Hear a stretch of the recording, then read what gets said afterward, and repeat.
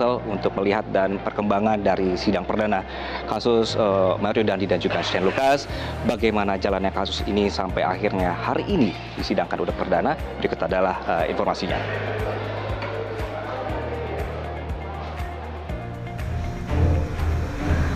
Pihak Pengadilan Negeri Jakarta Selatan menyatakan tidak ada pengamanan khusus jelang sidang perdana Mario Dandi dan Shane Lucas.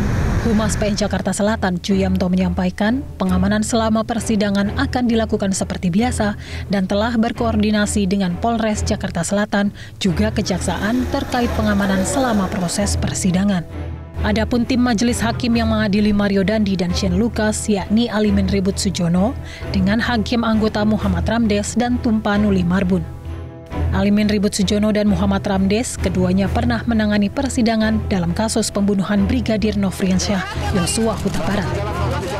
Sedangkan Tumpanuli Marbun pernah mengadili terdakwa Chu Angpyo alias Junaidi dalam kasus kepemilikan 25 kg sabu dan menjatuhkan vonis hukuman mati. Rencananya, sidang sendiri akan digelar pukul 11 siang.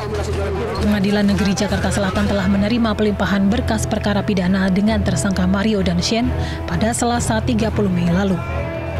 Dalam kasus penganiayaan ini, Mario Dandi dijerat pasal penganiayaan berat berencana serta pasal perlindungan anak dengan ancaman hukuman 12 tahun penjara. Tim Liputan Metro TV.